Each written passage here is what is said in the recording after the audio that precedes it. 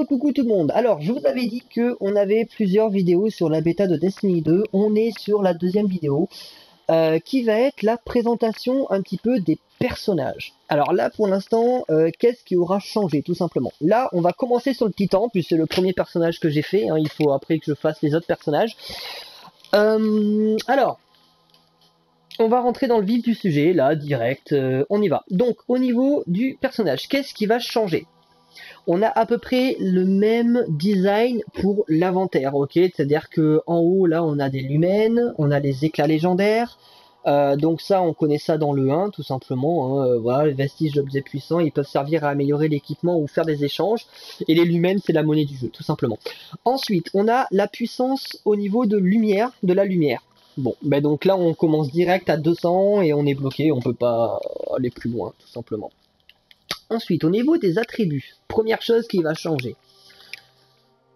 Avant, on avait, euh, oh je me rappelle, on avait la force, l'intelligence et la habileté, je crois, ou euh, quelque chose comme ça. Bref, euh, là, ça a changé. La force, l'intelligence, ça permettait, en fait, c'était en fonction de son stuff. Il fallait vraiment calculer son stuff pour mettre, comment dire, pour mettre les attributs, pour booster les attributs qu'on voulait booster, pour augmenter, par exemple avec la force, on accélérait euh, le fait de pouvoir avoir son, coup de poing, hein, son, sa, capacité de mêler.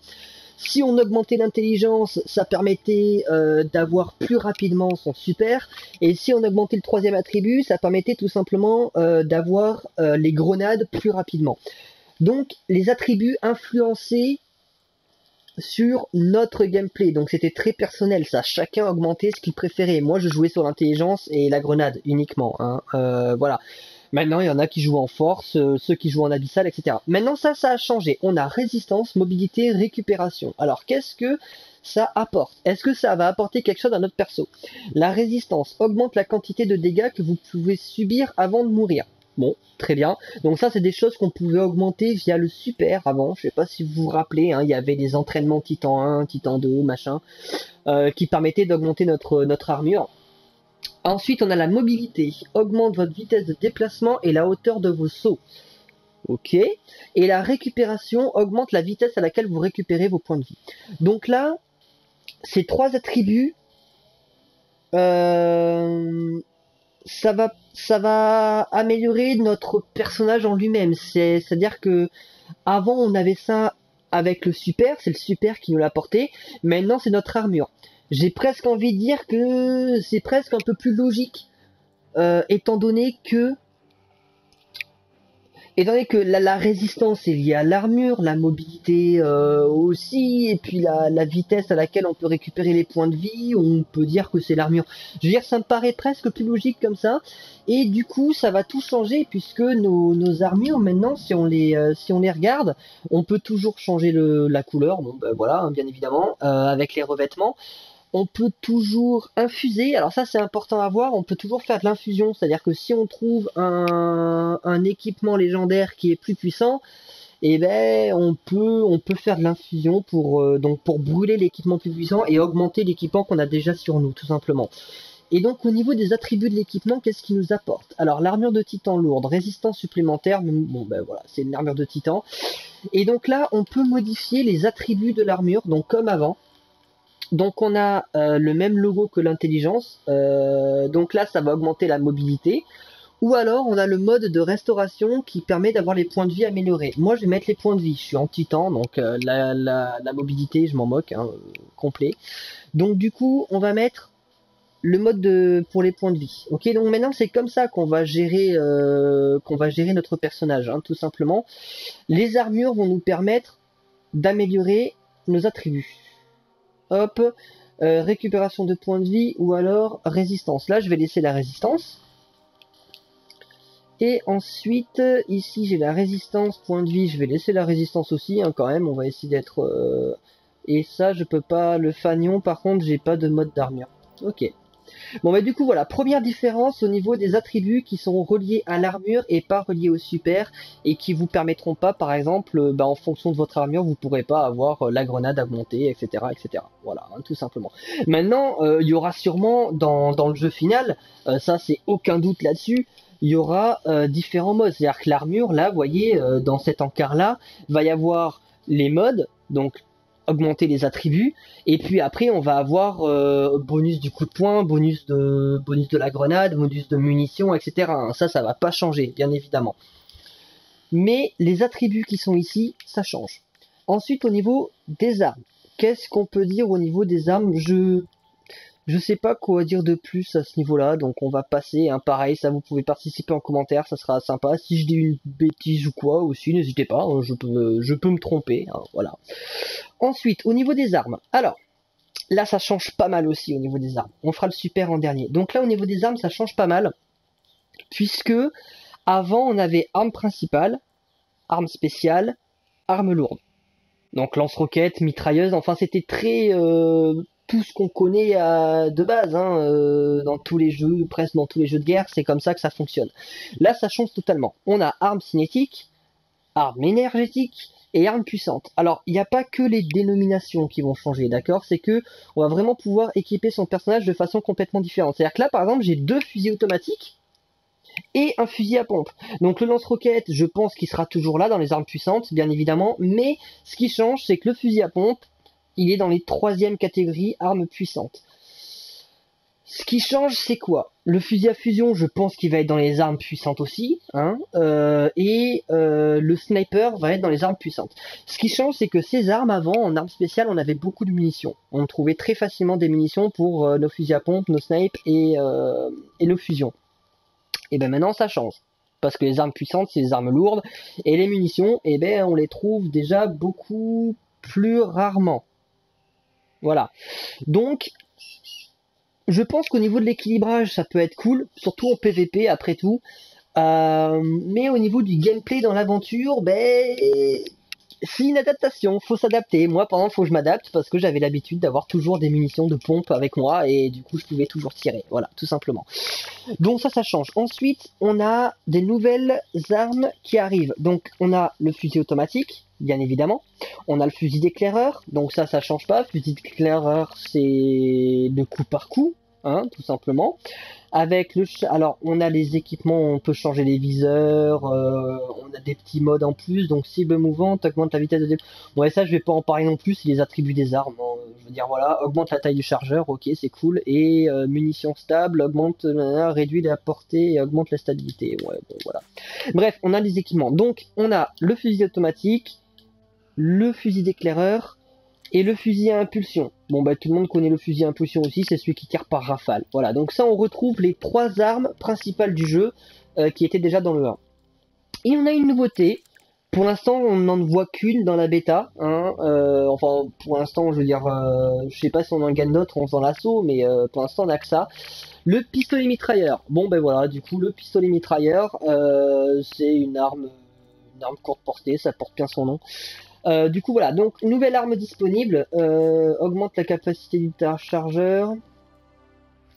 Donc du coup voilà, on a déjà une arme en plus et par exemple je peux jouer avec deux pistolets mitrailleurs si je veux. Vous voyez, euh, si on veut vraiment vraiment être le gars en première ligne, on tire des balles super rapidement, on peut jouer avec deux pistolets mitrailleurs. Ou alors le revolver on retrouve le revolver aussi, bien évidemment, et le fusil automatique. Donc je peux avoir un pistolet mitrailleur en principal, un fusil automatique, et puis, euh, et puis mon pompe, ou le lance-grenade. Donc le lance-grenade, nouvelle arme. Donc là dans la bêta, on va récapituler, il y a deux, euh, deux nouvelles armes qui arrivent, deux nouvelles catégories, pistolet mitrailleur et lance-grenade c'est cool, ça fait deux variétés d'armes en plus. Euh, au niveau de, l'équipement du stuff, c'est sympa. Je pense que ça peut être intéressant, ça change, mais c'est intéressant puisqu'on va pouvoir euh, mieux travailler son stuff, tout simplement. Pour les armes, je pense que c'est bon, c'est passé. Euh, ensuite, bien évidemment, on peut changer le vaisseau, on peut changer son emblème, les interactions, ça, ça change pas. Et maintenant, on va parler du super. Alors le super au niveau du titan, qu'est-ce qu'on va avoir de différent? Bah déjà c'est présenté complètement différemment comme vous pouvez le voir. On n'a plus tout ce qui augmente les attributs d'armure etc. Hein, c'est plus relié au super. Maintenant le super c'est vraiment pour taper. Donc ici ça va être ce qui est disponible avec notre super. Donc on a la rempart d'aurore, donc la bulle bien évidemment, où il faut faire une technique différente, c'est que il faut l'activer, on, active son super et après si on veut mettre la bulle, on met la bulle. Ensuite, on a le renversement, donc un bouclier. Donc ça, c'est quand on fait une frappe de mêlée et qu'on a un bouclier en plus. Bon, ben ça, ça change pas. Ensuite, on a le 1 pour tous. Les frappes de mêlée rendent des points de vie à vos alliés. Bon, ben ok. Et tue un ennemi avec cette attaque de mêlée pour créer un bouclier. Bon, ben voilà. Bref aux alliés aussi. D'accord, donc ça donne un bouclier aux alliés. Bon, ben ça, c'est des attributs de base. Ensuite, on a à nouveau les trois grenades qui sont ici, donc on peut sélectionner. Là, j'ai la grenade magnétique, on a la grenade du mur abyssal, donc ça, ça donne un mur horizontal de lumière, donc euh, c'est ce qu'on avait dans Destiny 1 sur les sur le pas de l'ombre, je crois, au niveau du chasseur. Euh, voilà. Après, on a la grenade capacitante qui empêche les cap... les grenades, on a les mêmes que dans le 1. Voilà, qu'on soit clair. Sauf la grenade, avant, c'était un tourbillon, euh, un tourbillon abyssal. Ensuite, on va avoir la barricade, donc nouvelle capacité, nouveauté de la bêta, la barricade. Donc une barricade qu'on peut mettre, elle se recharge plus ou moins rapidement, un peu comme l'attaque de mêlée, donc ça c'est cool, ça met un mur. Et puis il y a deux options, soit c'est une grande barrière qui permet de renforcer une position, comme vous l'avez vu, ou alors c'est une petite barrière et elle permet de recharger instantanément l'arme. Voilà, deux, deux, trucs différents, on voit celle qu'on utilise. Et enfin, donc ça, ça change aussi, c'est toujours le super qui nous permet d'avoir une modification de vol. Donc on a soit le vol élevé, le vol directionnel ou le vol catapulté, voilà, euh, sauter pour euh, vol et renforcer l'élan initial. Bon ben ça c'est pareil, on le connaît déjà dans le... Donc voilà ce qui change au niveau des super. Donc ça c'était la sentinelle, et vous allez voir qu'au niveau de l'assaillant, j'ai pas grand chose qui change. Juste, bah, l'assaillant, on retrouve le coup de poing au sol par contre, ce qui est cool, et ça c'est à noter, c'est que euh, l'assaillant, on peut taper plusieurs fois euh, des points par terre. Hein. Avant, c'était euh, une fois, boum, c'était fini, on avait claqué le super. Là, c'est on claque le super, et un peu comme les marteaux, si vous préférez, pour, le, pour, pour les marteaux, c'est qu'on peut taper, je crois que j'ai tapé 4 fois, on peut taper au moins 4 fois au sol avec les points. Et ça, c'est plutôt cool. on a le comment dire Ah oui, et puis du coup, on a le la charge sismique. Alors ça, ça change.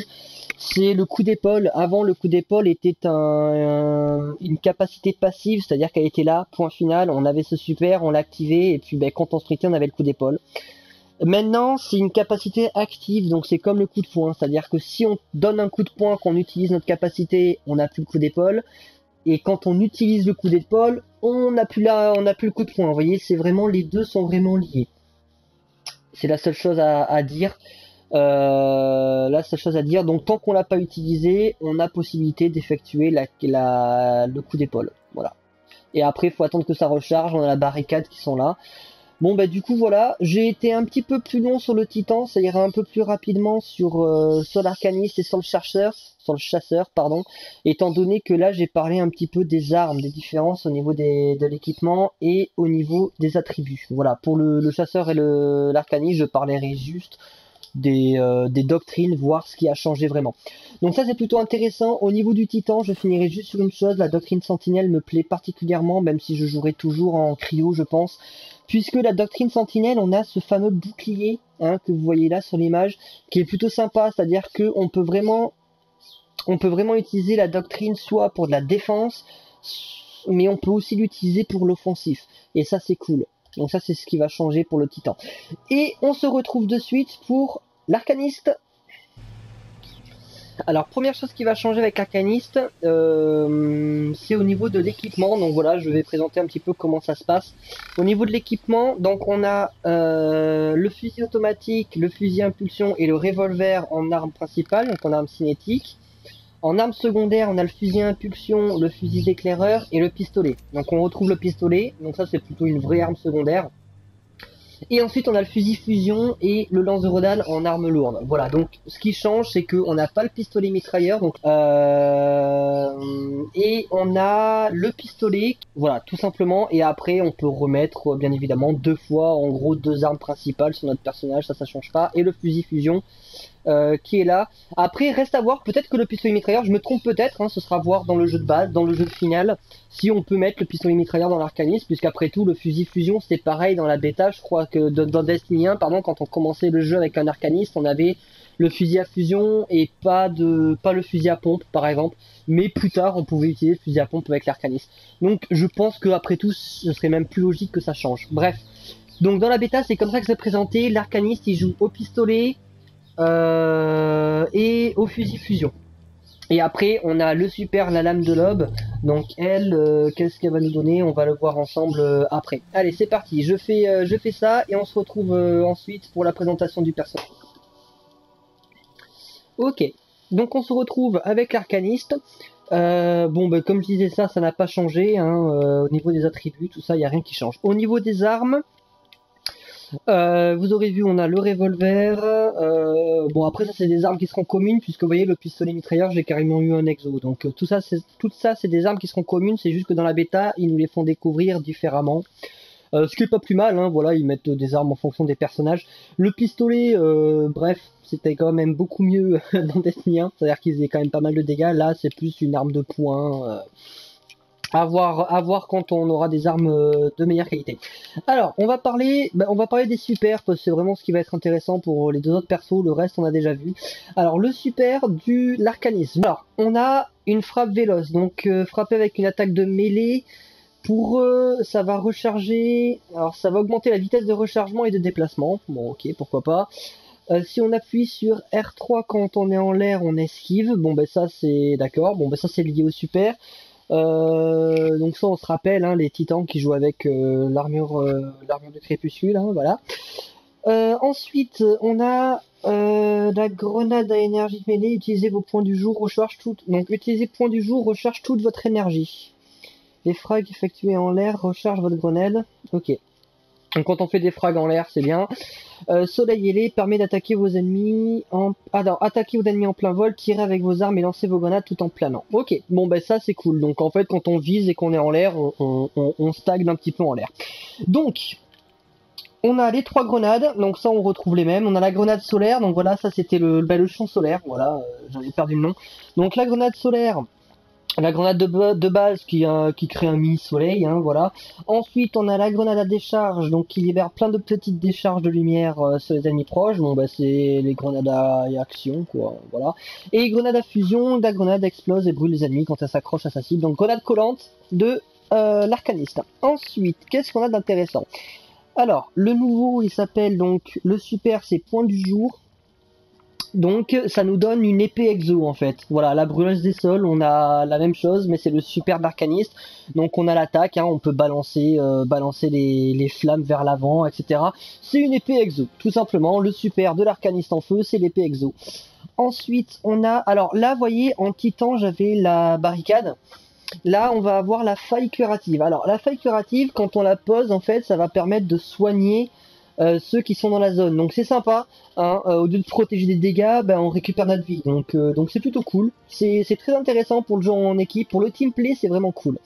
Ensuite, on a l'autre, ça augmente les dégâts des armes. D'accord. Bon bah ça c'est comme, vous voyez, hein, c'était la bulle du titan avant. Donc du coup, augmente les dégâts ou alors ça soigne.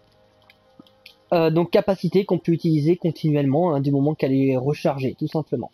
Vol plané renforcé, bon bah après c'est le vol plané, euh, l'arcaniste a pas trop trop changé au niveau du sou, il a rien qui a changé en fait, hein, c'est un planeur.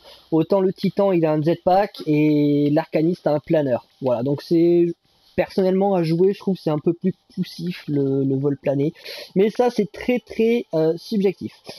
Euh, et ensuite, là en bas, on peut améliorer, vous voyez, avec des points d'amélioration. Euh, j'avais, j'en avais pas parlé dans le Titan. Euh, feu internet, par exemple, tuer un ennemi avec point du jour prolonge, sa durée. Ouais, en fait, c'est des petits bonus qu'on peut, qu'on peut, qu'on peut mettre. point du jour, poursuivre les ennemis. Ouais, bon, voilà. C'est des améliorations, des améliorations du, super. Faudra voir, ce sera une ressource qu'on obtiendra plus tard. Je crois que j'ai fait le tour pour l'arcanisme, donc c'est l'épée solaire tout simplement. Et euh, je vais regarder vite fait pour le la voie abyssale. La voie abyssale, on va avoir donc la bombe euh, la bombe d'Ova, hein, tout simplement. Euh, on connaît, c'était le, le super de base dans Destiny 1. et après, après bah, la, la capacité, ça reste la même. Le vol plané aussi. Les grenades, en petits éclats, euh, et puis une grenade qui est divisée en de nombreuses sous-munitions qui explosent sur, bon ben voilà, la grenade à dispersion et la grenade à la décharge d'action, hein, on les connaît. Euh, on les connaît, on les connaît. Euh, Nova se déplace lentement et poursuit les ennemis. Les explosions se fragmentent en de petits projectiles autoguidés. Tirez la Bombe Nova pour faire exploser plus tôt. D'accord, ok. Maintenez L1 et puis dans l'énergie de votre super pour surcharger votre grenade et la rendre plus puissante. D'accord, donc avec l'arcanisme super, on peut utiliser, on peut euh, canaliser l'énergie de son super en fait euh, pour l'utiliser sur les grenades plutôt que, plutôt que le super. Ok. Et ensuite frapper un ennemi avec cette attaque de mêlée, drainer sa force vitale. Bon, ben voilà. Euh, L'arcaniste abyssal, franchement, je pense pas qu'il y ait grand chose qui change, à part la capacité ici, hein, la faille curative et renforçante. Je vois pas ce qui va beaucoup changer sur, sur l'arcaniste. Donc voilà, le nouveau super, euh, bah, il est cool, hein, c'est une épée exo. Euh, bon bah du coup on a fait le tour. Ça a été très rapide mais il euh, n'y a pas grand chose d'autre à dire. Hein. C'est plutôt cool. C'est plutôt cool mais, mais bon. Bref. On se retrouve pour le chasseur. À de suite.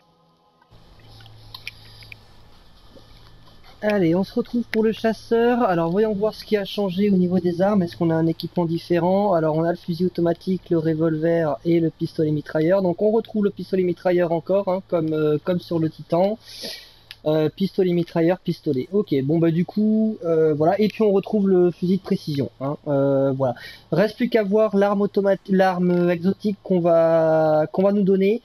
du coup, on a presque l'impression d'avoir fait le tour des catégories d'armes on, va voir ce qu'on obtient en, armes exotiques. Et voilà, donc ça y est, on a fini euh, trois fois le prologue, donc avec les trois persos différents. Donc on va terminer sur ce petit, euh, ce petit chassou. Alors, euh, bon, bah ça, ça a toujours pas changé au niveau des attributs. donc le chasseur, ben, on a tout, comme d'habitude, hein, toutes les variétés d'armes peuvent être jouées avec tous les personnages, hein, au final, voilà.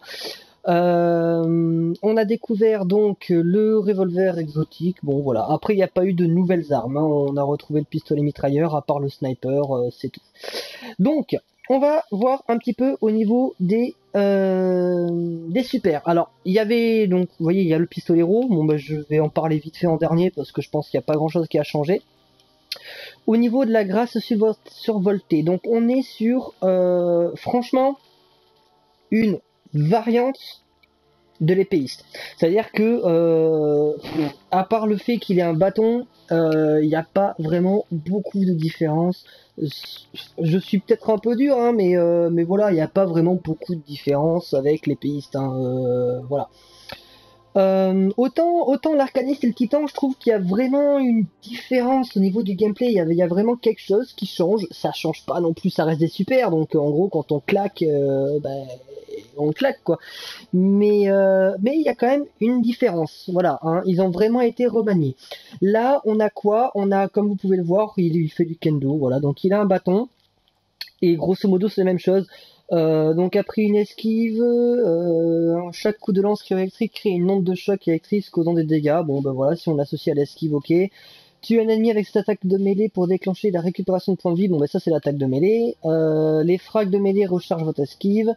Et esquiver améliore votre portée de mêlée? Donc le chasseur il est vraiment axé sur l'esquive. Donc l'esquive du sniper.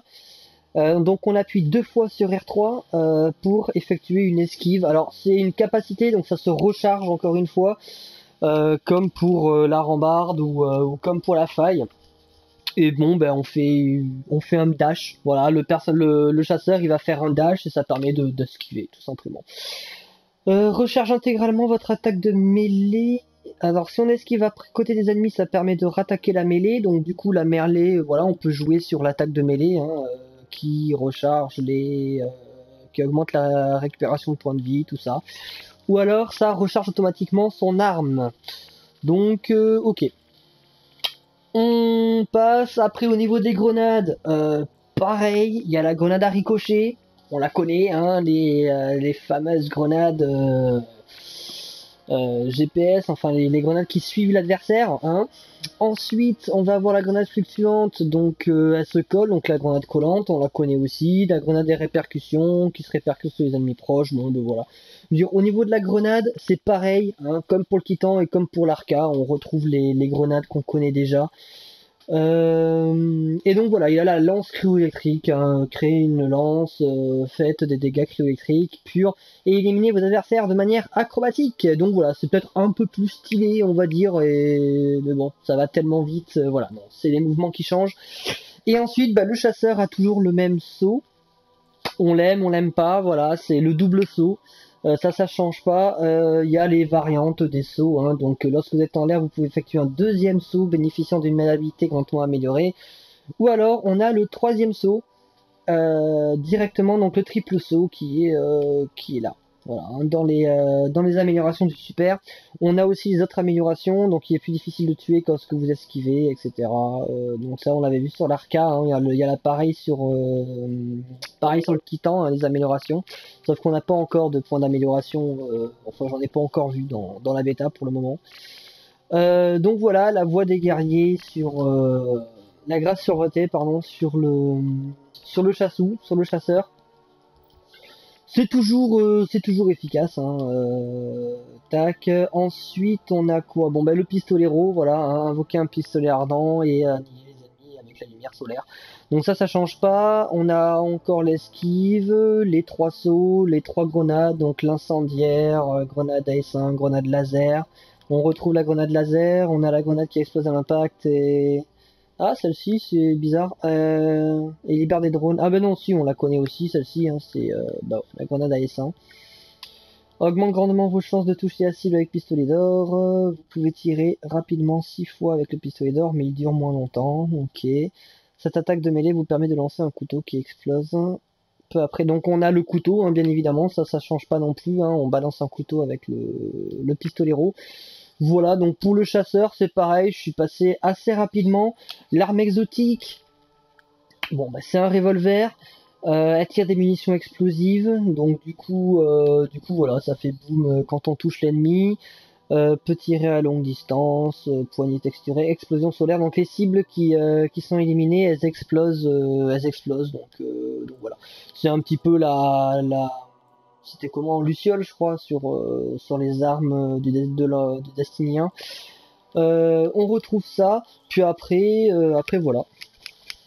Donc là on a fait le tour des trois personnages qui peut changer ou pas voilà les petites particularités. Honnêtement ça change un petit peu au niveau du gameplay mais ça reste ça reste toujours aussi efficace voilà. Ça peut par contre tous ces petits agencements qu'ils ont mis peuvent être un équilibrage plutôt agréable voilà. Surtout au niveau du travail d'équipe, hein, je le répète, entre la rambarde du la rambarde du titan et puis euh, le fait que le que l'arcaniste puisse faire du heal, c'est euh, c'est plutôt pas mal. Dans l'idée, c'est plutôt pas mal. Voilà. Donc on était sur Destiny 2.